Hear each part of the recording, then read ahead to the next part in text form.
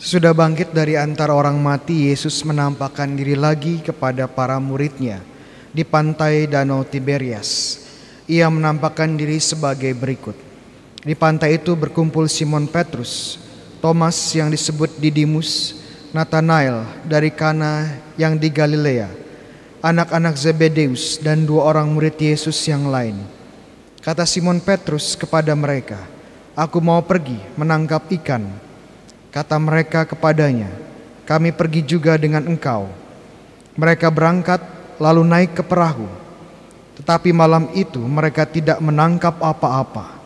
Ketika hari mulai siang, Yesus berdiri di pantai. Akan tetapi, murid-murid itu tidak tahu bahwa itu adalah Yesus. Kata Yesus kepada mereka, "Hai anak-anak, apakah kamu punya ikan?" Jawab mereka, "Tidak." Lalu kata Yesus kepada mereka, tebarkanlah jalamu di sebelah kanan perahu, maka kamu akan peroleh.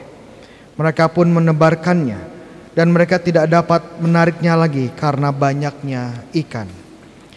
Lalu murid yang dikasih Yesus itu berkata kepada Petrus, itu Tuhan. Ketika Petrus mendengar bahwa itu adalah Tuhan, maka ia mengenakan jubahnya, sebab ia tidak berpakaian, lalu terjun ke dalam danau. Kemudian murid-murid yang lain datang dengan perahu karena mereka tidak jauh dari darat. Hanya kira-kira 100 meter saja dan mereka menarik jala yang penuh ikan itu. Ketika tiba di darat mereka melihat api arang, di atasnya ada ikan dan roti. Kata Yesus kepada mereka, "Bawalah beberapa ikan yang baru kamu tangkap itu." Simon Petrus naik ke perahu, lalu menghala jala itu ke darat penuh ikan-ikan besar 153 ekor banyaknya. Dan sesungguhnya banyak itu, jala itu tidak koyak. Kata Yesus kepada mereka, marilah dan sarapanlah. Tidak ada di antara murid-murid itu yang berani bertanya kepadanya, siapakah engkau? Sebab mereka tahu bahwa ia adalah Tuhan. Yesus maju mengambil roti dan memberikannya kepada mereka. Demikian juga ikan itu. Itulah ketiga kalinya Yesus menampakkan diri kepada murid-muridnya. Sudah ia dibangkitkan dari antara orang mati.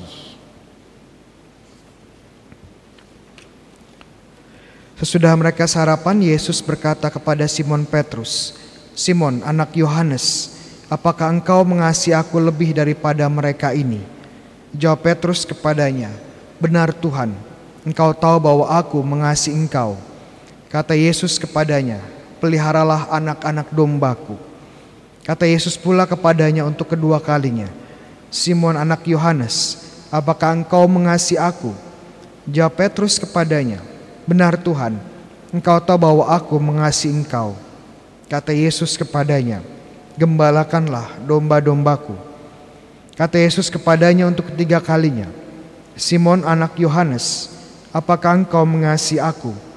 Petrus pun merasa sedih karena Yesus berkata untuk ketiga kalinya, "Apakah engkau mengasihi aku?" Petrus berkata kepadanya, "Tuhan, engkau tahu segala sesuatu. Engkau tahu bahwa aku mengasihi engkau." Kata Yesus kepadanya, "Peliharalah domba-dombaku." Sesungguhnya aku berkata kepadamu, ketika masih muda engkau sendiri mengikat pinggangmu dan berjalan ke mana saja engkau kehendaki. Tapi jika engkau sudah menjadi tua, engkau akan mengulurkan tanganmu dan orang lain akan mengikat engkau serta membawa engkau ke tempat yang tidak engkau kehendaki. Hal ini dikatakan Yesus untuk menyatakan bagaimana Petrus akan mati dan memuliakan Allah. Sesudah mengatakan demikian, Yesus berkata kepada Petrus, "Ikutlah aku." Demikianlah sabda Tuhan. Terpujilah Kristus.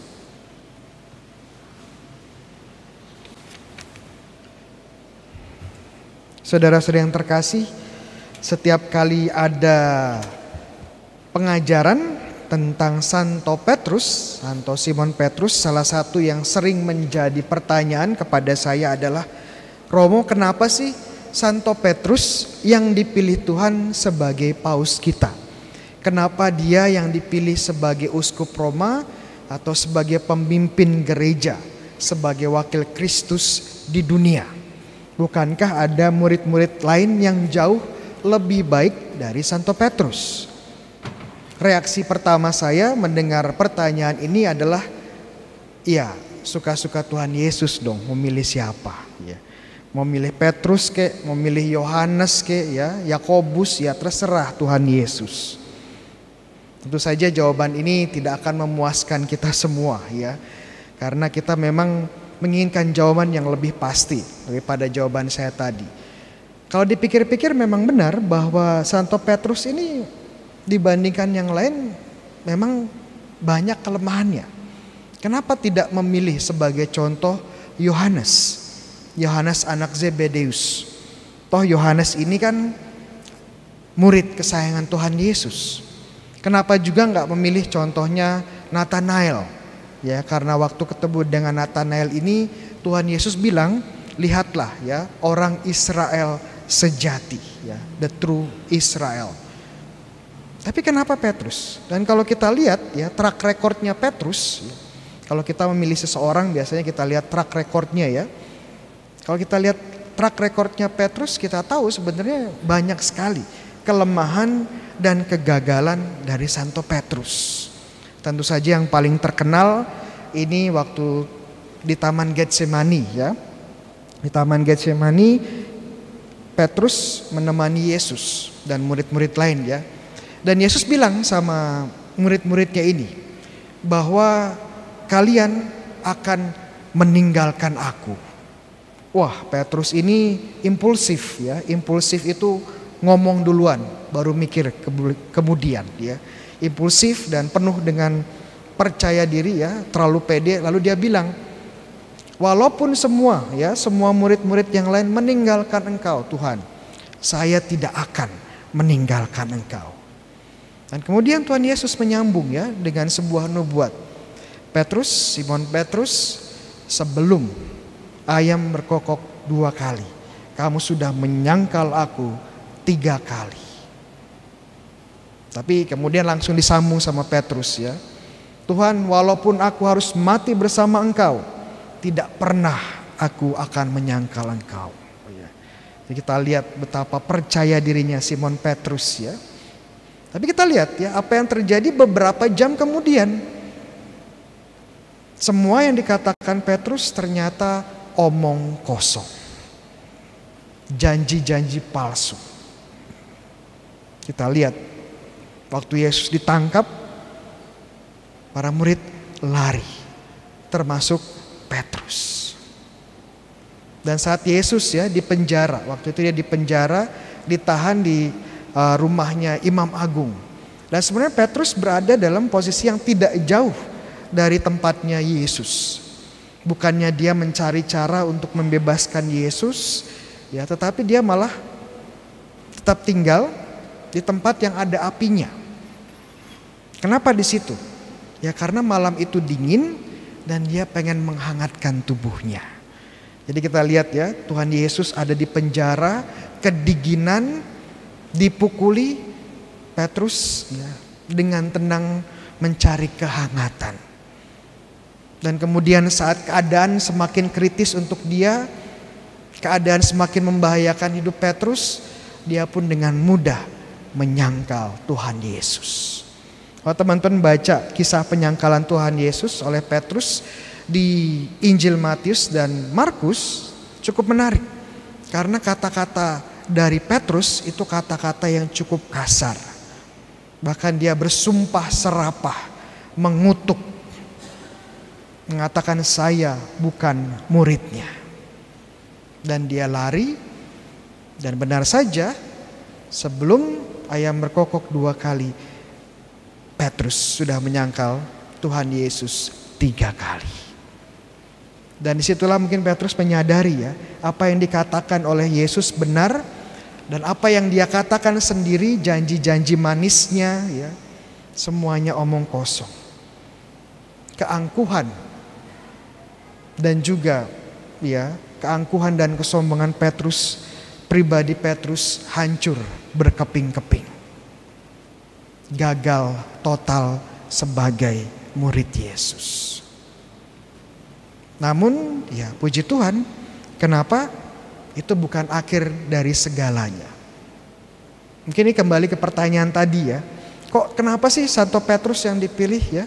Padahal kita tahu track recordnya babak belur. Gagal total dalam mengikuti Yesus. Kenapa masih dipilih oleh Yesus? Jawabannya mungkin karena ya karena Petrus ini adalah sebuah kegagalan.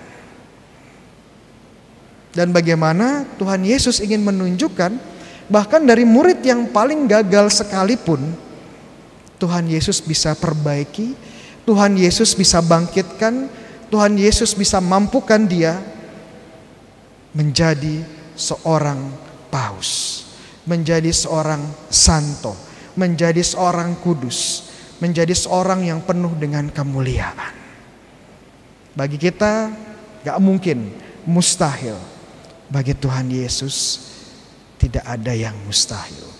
Dan di sisi lain juga kita lihat ya, Petrus juga kalau ke depannya berhasil sukses sebagai paus, dia pun nggak bisa sombong. Ya. Karena dia tahu track recordnya hancur berantakan. Kalau dia berhasil itu karena Yesus. Namun di sisi lain juga waktu Yesus ini memanggil ulang Petrus, ya memanggil ulang Petrus, pertanyaan Tuhan Yesus hanya satu. Yang dituntut Tuhan Yesus dari Petrus hanya satu.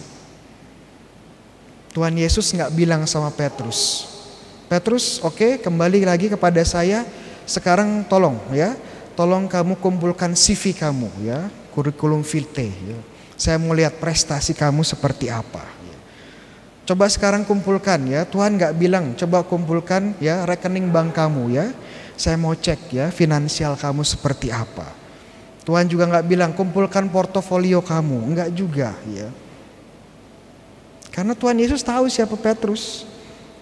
Hanya sebuah kegagalan dan sebuah kelemahan. Makanya Tuhan Yesus minta hanya satu hal. Petrus, Simon, apakah engkau mengasihi aku? Tuhan Yesus tidak minta segala bakat Petrus. Tuhan Yesus tidak minta segala talenta Petrus. Tuhan Yesus tidak minta ya keluar biasaan kebaikan Petrus. Tapi cuma satu hal. Petrus, apakah kamu mengasihi aku? Dan jawabannya, ya Tuhan, aku mengasihi engkau. Gembalakanlah domba-dombaku. Saat menarik ya kalau kita lihat kisahnya Petrus yang dari hancur lebur kemudian dimampukan Tuhan menjadi seorang paus, menjadi seorang santo pemimpin gereja Katolik yang sekarang jumlahnya lebih dari satu miliar orang, satu miliar umat. Di dalam uh, di bangsa Jepang, di negara Jepang itu ada sebuah kesenian, ya sebuah kesenian. Nama keseniannya itu adalah kintsugi, ya kintsugi. Kesenian apa itu Romo? Ya ini kesenian dalam memperbaiki guci yang pecah, mangkok yang pecah, ya, pot yang pecah, keramik yang pecah. Kalau ada hal-hal seperti ini yang pecah, yang rusak, biasanya ya kita buang saja ya. Tetapi bangsa Jepang Jepang memiliki kesenian lain. Mereka kumpulkan yang rusak ini, kemudian mereka perbaiki. Yang unik adalah saat mereka memperbaiki, tentu saja dengan lem. Setelah mereka lem, mereka akan pakai bubuk emas untuk menyempurnakan yang baru saja dilem. Kadang-kadang emas, kadang-kadang perak. Jadi hasil akhirnya itu lebih baik dari yang orisinil. Jauh lebih indah dari yang original. Padahal dulunya itu adalah suatu yang rusak, ya, suatu yang pecah belah. Namun setelah diperbaiki, bahkan dengan suatu seni dan dengan bahan emas menjadi jauh lebih baik, menjadi jauh lebih indah dan mahal. Ini yang dilakukan Tuhan Yesus. Ya, ya Petrus remuk, hancur, gagal, tapi diperbaiki oleh Tuhan, dimampukan oleh Tuhan menjadi sesuatu yang indah. Pertanyaannya hanya satu oleh Tuhan.